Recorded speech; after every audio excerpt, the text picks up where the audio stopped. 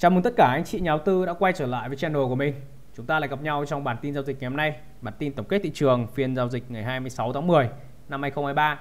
Thì trước khi vào bản tin giao dịch ngày hôm nay, hy vọng anh chị nhà đầu tư và các bạn hãy like và chia sẻ video của mình cho mọi người cùng tham khảo. Ngoài ra thì hãy ấn nút đăng ký để nhận được những thông tin mới nhất từ channel của mình.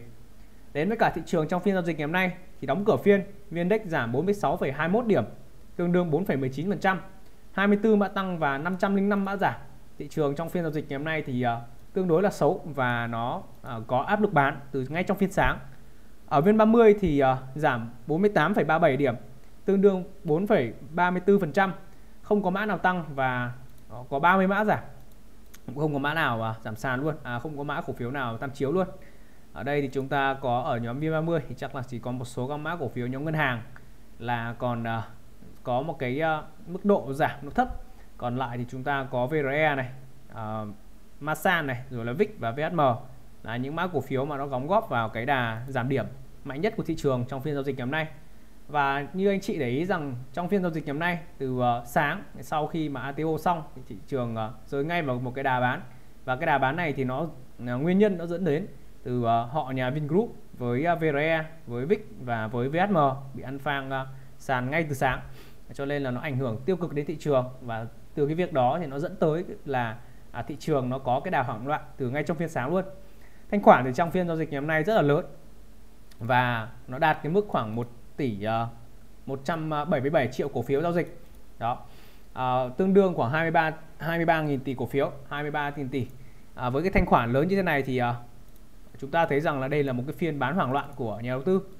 Uh, hmm, em còn gì nữa không nhỉ? Bởi vì là mình à, hôm nay cũng không có nhận định gì mấy. Ok đây. Thì à, với nhận định thị trường cá nhân của Kiên thì trong phiên giao dịch ngày hôm nay thì à, mình có dự kiến rằng là thị trường sẽ tiếp tục rung lắc và khó khăn trong quá trình tạo đáy khi dòng tiền chưa tham gia. Và mục tiêu của nhịp hồi phục này sẽ kỳ vọng ở cái mức 1120 và 1130 hành động của anh chị nhà đầu tư thì đối với nhà đầu tư đang cầm nhiều tiền à, đang à, cầm tiền thì sẽ quan sát à, kiên nhẫn quan sát để à, quan sát thêm thị trường với các mốc 1030, 1050. Đối với nhà đầu tư đang còn cầm lượng hàng lớn thì sẽ kiên nhẫn và cắt lỗ khi thủng các mốc hỗ trợ. À, nhịp hồi phục sẽ là cơ hội để anh chị nhà đầu tư cơ cấu danh mục tỷ trọng an toàn chỉ lên nước ở mức dưới trung bình.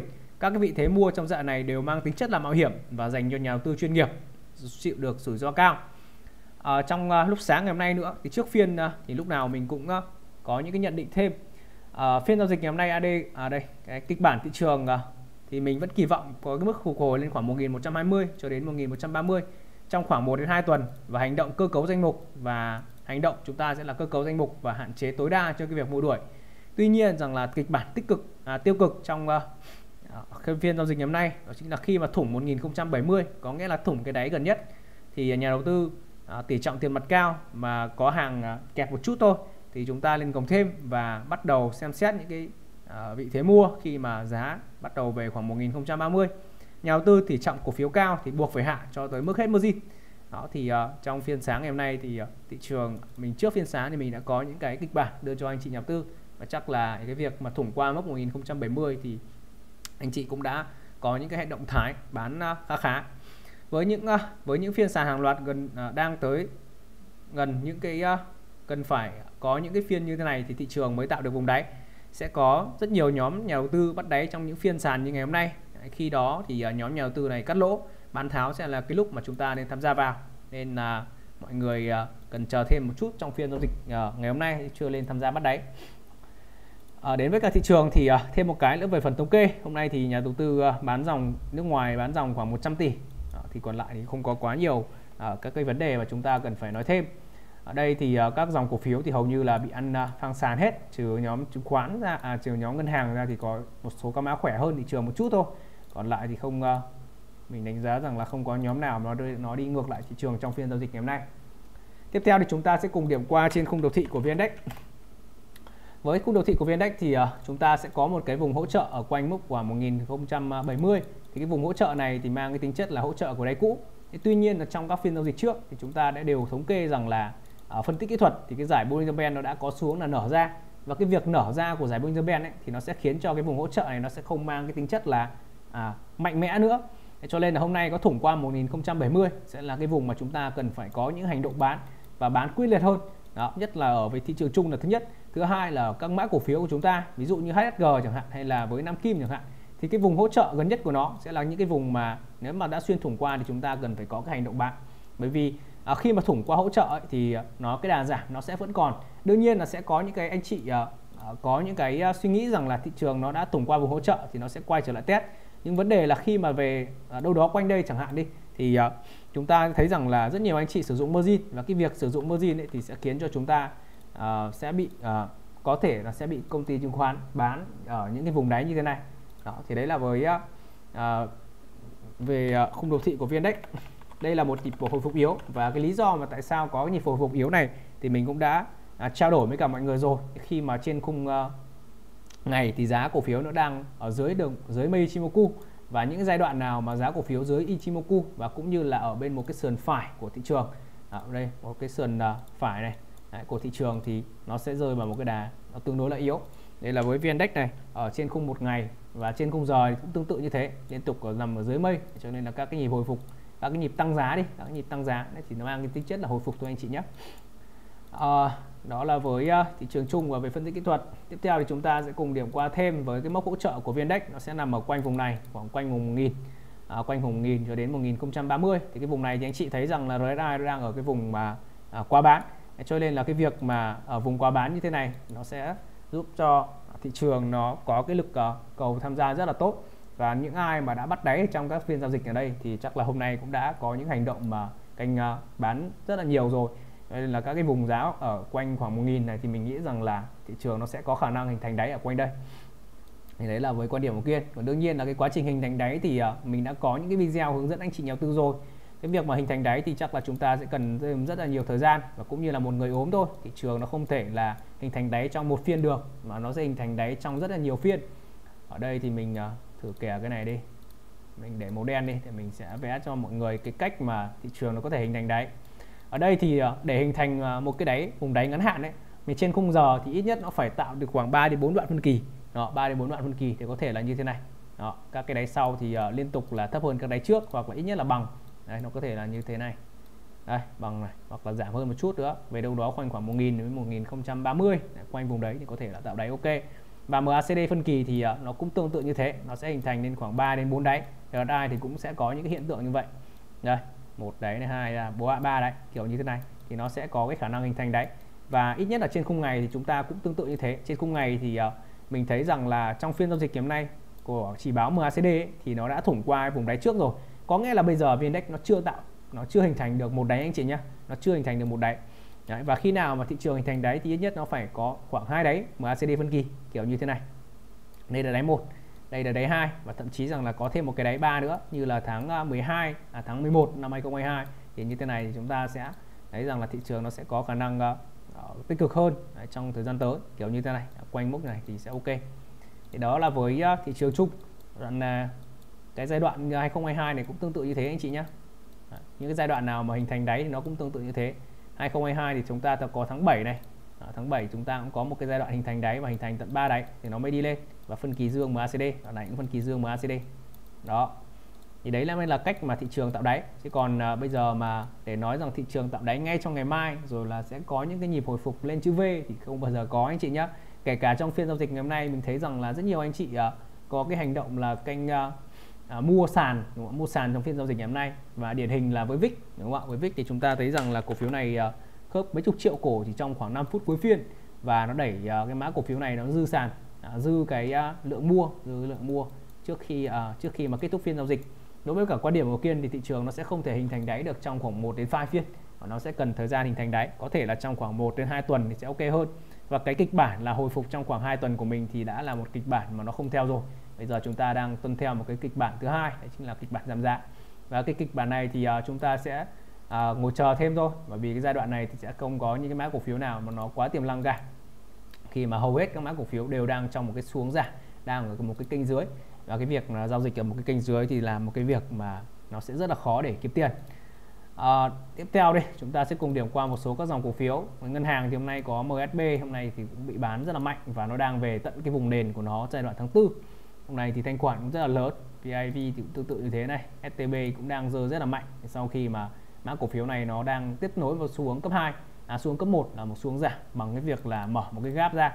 À, nói về cái gap thì anh chị có thể thấy rằng là viên index trong phiên giao dịch ngày hôm nay mở một cái gap à, giảm giá. Và một cái thanh khoản lớn như thế này thì đây là một cái gap breakaway anh chị nhé đây là một cái gap breakaway và cái gap này thì nó sẽ thường ấy, dự báo cho một cái xu hướng tiếp theo vẫn là một xu hướng giảm.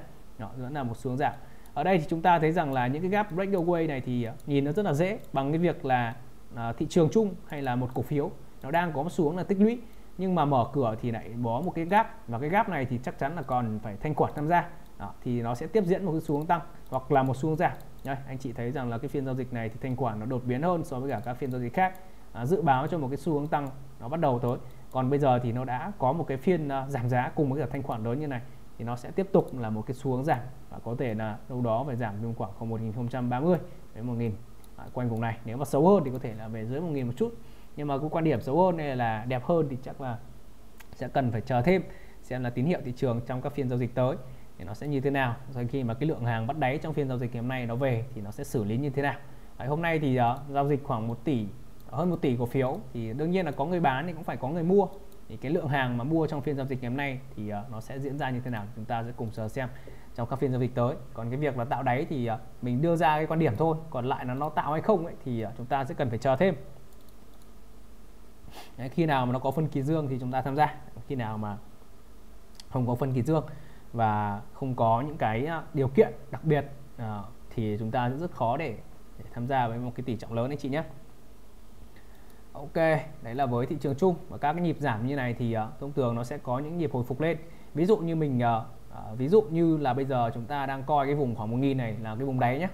Thì chúng ta sẽ có những nhịp hồi phục lên đâu đó quanh vùng này nếu mà coi cái vùng 1000 là vùng đáy. Ở đây, ví dụ như là đây là 1015 đi, là vùng đáy thì chúng ta sẽ có những nhịp hồi phục lên đâu đó sẽ khoảng uh, từ đây lên đâu đó khoảng 0.38 có nghĩa là lên khoảng 1100 hoặc nếu khỏe hơn thì có thể lên khoảng 1130 thì đây là dự kiến trong các giai đoạn hồi phục. Thì thông thường một cái giai đoạn mà điều chỉnh xong thì nó sẽ có những nhịp hồi phục lên đó. Khi nào mà vượt qua khoảng 0.5 thì chúng ta sẽ kỳ vọng nhiều hơn cho cái việc là à, thị trường nó sẽ trở lại một cái xu hướng tăng. Đây ví dụ như đoạn này cũng thế nhé đây chúng ta nhìn thấy rằng là giai đoạn tháng 9 năm 2022 tháng 8 tháng 9 2022 tạo đỉnh. Và khi mà hình thành đáy xong thì chúng ta thấy rằng là các nhịp hồi của nó thì nó sẽ hướng tới các vùng mục tiêu như khoảng khoảng là 0.38 0.382 và 0.5 chúng ta sẽ có những cái mốc này là cái mốc kháng cự. Đấy, còn khi nào mà vượt qua được thì chúng ta sẽ trở lại một cái xuống tăng sau anh chị nhé đó ok. Và đương nhiên là những cái nhịp giảm như này thì sẽ cần rất nhiều thời gian để tích lũy cơ. Nhưng mà chúng ta sẽ đón một cái sóng hồi rất, rất là mạnh. Càng giảm nhanh thì càng giảm à, càng giảm nhanh thì càng tăng nhanh. Đương nhiên là không phải là tăng một phát lên khoảng 1.200 mà tăng đâu đó lên khoảng 1.100 là mình thấy rằng là cũng có một cái nhịp sóng nó anh khá ok rồi ở đây quanh đây đi. Đó, thì có thể lên khoảng 1.100 rồi đến khoảng 1130 đó. Ok đấy là với uh, thị trường chung. Điểm qua thêm một chút trong các dòng cổ phiếu và chúng ta chắc là sẽ sớm uh, kết thúc livestream ngày hôm nay. Hôm nay VX thì cũng đã thủng qua vùng đáy. Đấy, ben dưới nở ra thì chúng ta buộc phải có cái hành động mà canh bán nếu mà ai đang còn hàng. VND cũng tương tự như thế nở ben đấy, chị thấy rằng là các cái phiên mà nó nở ben và thủng qua vùng hỗ trợ thì nó sẽ còn dự báo cho một cái đà giảm tiếp. Chứ không phải là uh, giảm uh, đã đã giảm như này đã đang ngoài ben thì hôm nay đang nở ben nhé chứ không phải là ngoài ben đã giảm như này thì nó còn tăng tiếp không có. Đấy, hỗ trợ của FTS rất là mạnh của cái Falastichi thì nó giúp cho à, uh, FTS nó tăng được 1, 2, 3, 4 phiên bật lại khoảng 4 phiên. Rồi bây giờ thì cái hỗ trợ này nó không đóng góp là cái vai trò quan trọng nữa. Đây, X này SSI thì hôm nay uh, mình thấy rằng là rất nhiều anh chị nhà đầu tư uh, tham gia mã cổ phiếu này và cũng không hiểu lắm. Mình không quan sát được trong phiên giao dịch ngày hôm nay. Tuy nhiên rằng là mấy quan điểm của Kiên rằng là mã cổ phiếu này là một trong những mã cổ phiếu giảm sau. Cho nên là à, nó sẽ còn giảm thêm đấy nó sẽ còn giảm thêm. Thì có thể là về đâu đó khoảng 26 này thì mình nghĩ rằng là 26 hoặc là quanh khoảng 25 26 thì bắt đầu là mới có các cái vùng à, hỗ trợ nó mạnh của SSI đấy là với cổ phiếu SSI này VDS thì cũng tương tự này kết quả kinh doanh tốt cũng không ăn thua lắm. ORS thì tiếp tục giảm. Chung là đoạn này chưa có gì mấy cả chỉ có ông BVH này đoạn này uh, năm nay được kỳ vọng rất nhiều với cả BVH khi mà mã cổ phiếu này uh, trong những giai đoạn mà thị trường ờ, hay là kinh tế khó khăn thì các cái mã cổ phiếu của nhóm ờ, bảo hiểm này cũng sẽ được hưởng lợi phần nào khi mà cái dòng tiền nó không ờ, đầu tư đi đâu. Thực phẩm mà của ta này không ăn thua lắm này mà sàn này mà sàn này cũng giảm rất là mạnh đang kinh giảm lớn. Ok như vậy là à, đã đi hết cái bản tin giao dịch ngày hôm nay của mình. Hy vọng rằng là bản tin sẽ mang lại một số các thông tin hữu ích cho anh chị nhà đầu tư khi mà có một cái vùng dự kiến tạo đáy và cũng như là cái vùng dự kiến tạo đáy xong chúng ta sẽ có cái à, cách thức để à, anh chị có thể à, biết được là khi nào mà thị trường nó sẽ vào cái pha tạo đáy. Cũng như là cái việc tạo đáy xong thì chúng ta sẽ có kỳ vọng là một nhịp hồi là bao nhiêu phần trăm à, có thể là lên vùng nào. Đó. ok chúc mọi người có thể là à, chúc mọi người sẽ có một buổi tối vui vẻ. Xin chào và hẹn gặp lại.